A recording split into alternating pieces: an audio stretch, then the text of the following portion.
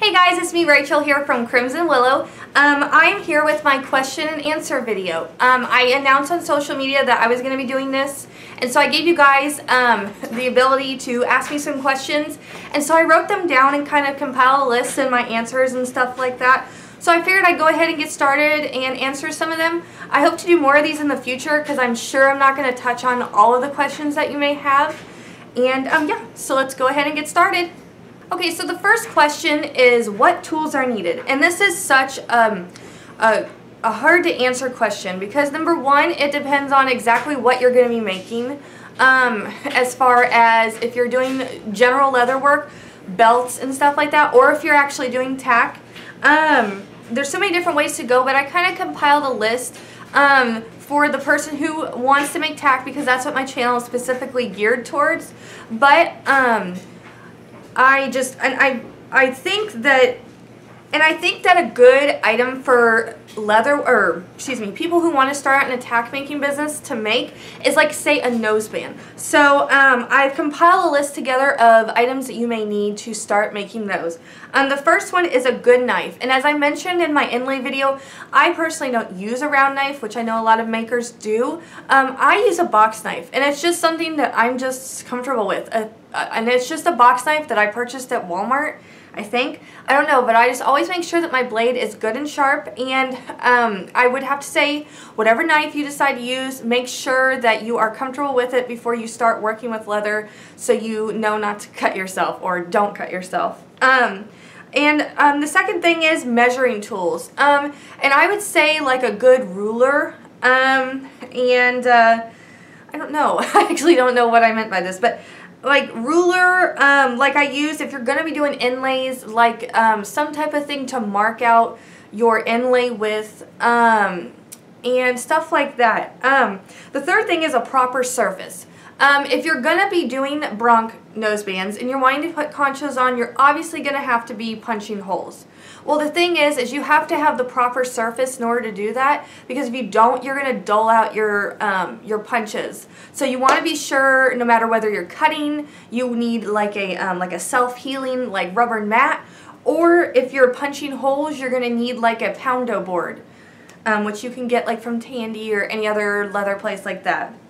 Um, the fourth thing is is a notebook. Um, I know this sounds really weird, but honestly for me, I am a visual person. And my thing is, is like I mentioned on my page, because now I'm going to just in stock only, I have an entire note, probably two, more than two notebooks full of ideas that I've just jotted down over the last year when I'm out and I'm like, oh, you know, that'd be such a good idea. I can vision it and stuff and I'll draw it out and then I will eventually make it. But that's how good ideas are started. And so um, I would say a notebook is a very good thing to have if you're trying to create a brand, trying to create a name for yourself. Um, so yeah, just any notebook that you can draw on. You don't have to be a perfect artist. I mean, I'm not. I know that. Um, the let's see. The fifth thing is is a good swivel knife, and this is. I mean, if you're starting out making nosebands and you're just going to do like an overlay, just like a printed leather over the top, or if you're going to be painting, then you don't necessarily need this unless you're going to want to be painting your carvings and stuff like that. But a good swivel knife, if you're wanting to start carving, um, and I would suggest if you're wanting to actually tool, have tooling um, on your nosebands, I would suggest going to a class. Um, whether it be at a Tandy, they offer free classes, or if you find um, somebody um, that is well known in the leather industry, they're known to put on classes that charge a little bit of a fee, but those are extremely worth it to go to. Um, and then the other thing is is a basic beveler and this is going to go with tooling if you don't know what that is um, I'm not um, the best tooler but um, a beveler is what you use um, when you carve out with your swivel knife. The beveler is what basically makes your carving stand up or stand down. Um, it's what you go along with, you tap, after you cut with your swivel knife. Um, and so those are kind of the tools I would say that you need um, to get started, especially if you're making nosebands. Um, but there's probably some more that I'm forgetting, but if you have any questions, just feel free to ask me. Um, the second question is where to find leather. Um, I have my certain places I like to shop at, um, But the first one is Tandy. Tandy is a corporate leather brand um, that has a lot of stores throughout the U.S. Um, so they're pretty much accessible to almost anyone. I know some people don't live near a store. Mine is only like not even five minutes away from my house. I actually used to work there. Um, Tandy, they are www.tandyleather.com. Um, they have a lot of supplies for um, new leather beginners, lots of tutorials, videos, information, stuff like that. Um, and then Springfield Leather, um, I am in Missouri, so Springfield Leather is actually only like the most three hours from my house. I've traveled down there before. Kevin and Rusty are wonderful guys. They know so much. They have a beautiful store and they actually carry so many leathers that you will not see anywhere else. They have so many odd lot leathers is what they're called. Beautiful, unique leathers. Um, very, very helpful. Um, I just love those people. Um, they do a great job and if you can, if you're ever able to go check out their store, I would say do it and they're www.springfieldleather.com. Um, so go check them out. And then another one, which I don't necessarily use, I know a lot of people do, is Weaver Leather. Um, they put out a big catalog, and I actually didn't bring it up. Um, but they have a lot of, they sell everything from sewing machines to tools. They have hand tools, master tools. They sell lots of different types of leather, so many different types of hardware, and they also branch out and do other things like nylon and stuff like that. Um, so they're a very good um, another good place to buy leather. So I would say Tandy, Springfield, and Weaver are the three main ones that I mostly know about. Um, there are some other uh, leather places, um, like All American Leather Direct, ALD I think is what it's called. I haven't ever personally used them before. I hear they're good. Um, and then there's other little places that sell like like little like odd lot leathers. Like Peggy Sue also is on eBay and like she'll sell like um, just little scraps of leather that you can use. Um, so yeah, um, the next question is how to do basic stuff. And I'm actually going to be starting, my next video will be a series on how to create a Bronc noseband. It's going to be a series of probably two to three videos. Um, and I'm going to start filming it next week because as you know, Thanksgiving is this week and I have a lot of family things going on and I'm trying to create some items for um, kind of like a Cyber Monday sale. So that's going to be coming out. The next question is how to pick out a name.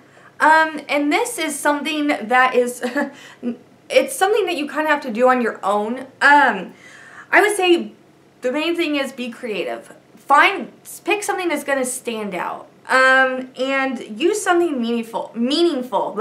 Um, like for instance, my name, my business name is Crimson Willow. Well, my horse's name, as everyone knows, is Willow.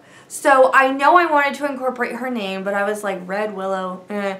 So I thought of a name for the color that, uh, for a name of red that would sound like kind of catchy. So that's how I came up with Crimson. So Crimson Willow. And that's how that was born. Um, actually, before leather, I started out making picture conchos. And that's where actually a lot of makers get started, is, is making the conchos. Um, they're not as big now um, as they used to be, I feel like. But um, my name before that was actually RD Creations, and that's just our Rachel Dake Creations. So um, you can do your name, your pet's name, your horse's name. Um, just be creative in something that is meaningful to you and describing you. And it doesn't actually even have to describe you. I mean, so um, yeah, just be creative as you can. Um, the next question is how much money? And this is another one of those gray questions. I mean, uh, hard because it depends. I mean, it depends on what you want to get started. Like for me, for instance, I started making no, um, conchos. So I had some money going from that, from my orders and stuff like that. So I took that initial money and invested it and started buying leather tools. And then I also invested just a little bit of my own money. But if you're wanting to get into like big tools and like sewing machines, like to be honest, I personally had to take out a loan to get my sewing machine. Um, and that was just my personal choice um, because I needed it then so I could expand. Um, but there's really not, um, there's not like a set amount that you need. Um, and also me, I just bought my tools as I went. I didn't just go to Tandy or some leather store and be like, okay, I'm to buy all these tools, spend thousands of dollars, and then get started. I started buying over like the course of a year and then started actually selling things and getting into it. Um, and then, uh, let's see here. Um, the another question was is how much space do you need? Well, to be honest, I started out, um, of course, I had already had a place set up where I made my conchos in our spare bedroom. Um, and then I started just kind of doing my leather work in there. That may not be feasible to you. The only thing you may have is your kitchen table. And that is okay as long as you keep your items together and organized and easy and able to pick up. Um, and then when you're able to, get a good sturdy table um, because if you're going to be tooling, you're going to be needing your granite and stuff like that. Um, I suggest one that doesn't bounce, um, that, that's pretty solid because um, when you're stamping and stuff, I know you're going to be on the granite, but it's just good to have a good solid table. Um, but yeah, I mean, if you have to move your tools around at the beginning, that is no big deal. Um, just um, eventually, if you're able to, you know, get the space. Like right now, I have our entire basement. Um, I started out in a spare bedroom. So, um, and at our old place, I didn't have that option. And now at our new place here, well, been here almost two years, um, but I have the whole basement, um, which is pretty full. Um, and I've just expanded over that. When I first started out, I didn't need a whole basement. Um, and so, yeah, so that is it. Those are the questions that I got. Um, if there's anything else that I can answer for you guys, let me know. And again, I'm going to be starting my series on how to make a noseband. I'm excited. Um, and I'm going to start that next week sometime. Um, so be on the lookout for that. Like I said, it's going to be like two to three videos. Um, and yeah, so I'm just so thankful for you guys. Thank you so much for supporting my business. Um, I truly appreciate it. I hope these videos can help you out, help somebody out. Um, if you know a friend um, that's trying to get started in the leather making business, you know, um, let them know about my channel. Um, I Like again, I hope I hope to be able to help somebody out. Um, that's why I'm doing this because I know that I didn't have the help out and I wish I did when I started and I know a lot of people believe that you should, you know, find out on your own and I get that, but um, if I can help you out in a little way possible, I'd like to do that. And But I can't show you. I can't like sit down and, you know, like coach you through making it. You know, you can watch my video and take some techniques, but you know, you learning it yourself and being able to perfect that art is going to be on you and it's going to be your own time and I can't personally sit down and do that, you know, across the computer. So yeah, so thank you guys again so much for watching my videos. Um, let me know if you have any more suggestions for videos. I look forward to my series coming up and I will talk to you guys later. Bye. Hey guys, it's me Rachel. Sorry I'm in my kitchen. Um, I've been up, or this whole morning I spent entering in all of the names into a generator to help me pick and I legitly cannot feel my fingers. I did a lot of copying and pasting and but still um yeah. So anyway thank you guys so much for entering. It was amazing the amount of times you guys entered. I mean my phone was blowing off the hook. It was awesome. Um, and second off thank you guys so much for hitting 100 subscribers. We're now at 101 I just checked. That is amazing. Um, I haven't even hit that on my other channel and I've been doing that for a couple months.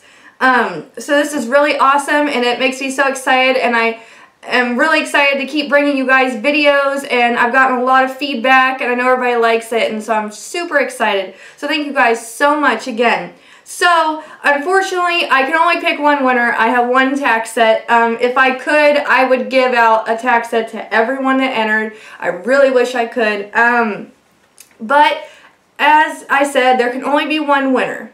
So the winner of the tack set is, drum roll please, your YouTube name is 20 Barrel Racer 07. You are the winner, so go ahead and contact me by Facebook, uh, email. Um, I have the information listed below. But that is not it. Um, I, again, saw the effort of everyone that tried. Um, so I just went ahead and picked five other names to receive $50 gift cards. Um, as you know, I'm not doing custom orders anymore, so this will be good to use on any in-stock item. Um, and I'll just uh, give you guys basically a coupon code to use. So, the winners, I picked five, just five random names. Um, the winners of $50 gift cards are Montana Webb. Um, I did this off of Facebook and YouTube. I kind of found out you guys' names through that. Um, anyway, um, Amber Evans, Emily Ennis, Bailey Knepper, I think K-N-E-P-P-E-R, and Brianna Smith. You guys all won $50 gift cards as well, so please um, uh, hit me up on Facebook, Instagram, um, email, whatever you guys want. And thank you guys again so much. I had so much fun with this. I'm going to go rest my hands now before I go back to work because I cannot feel them. Um, so, but it was awesome. It was great. And uh, I just thank you guys so much from the bottom of my heart. I've received so much positive feedback for this, and I'm just so excited to keep bringing you guys videos. And so yeah, so look forward to my next, my series I'm starting, which is how to create a bronc noseband. So look forward to that. And so I will talk to you guys later. Have a wonderful day, and I'll see you soon. Bye.